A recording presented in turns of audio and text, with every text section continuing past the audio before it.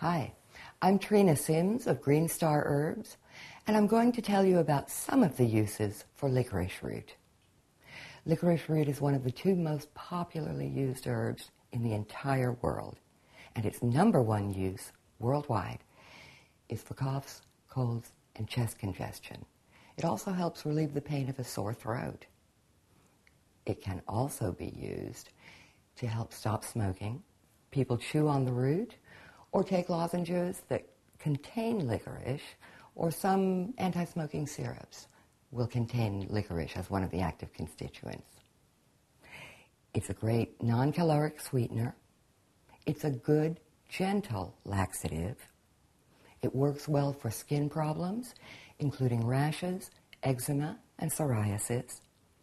And it's also seen as a general tonic in terms of supporting good health and as a sexual tonic as well. Real licorice is available in a number of forms, from whole dried root to chopped root, powder, which can be encapsulated or just added to various things, and as a constituent in syrups, lozenges, and some other confections.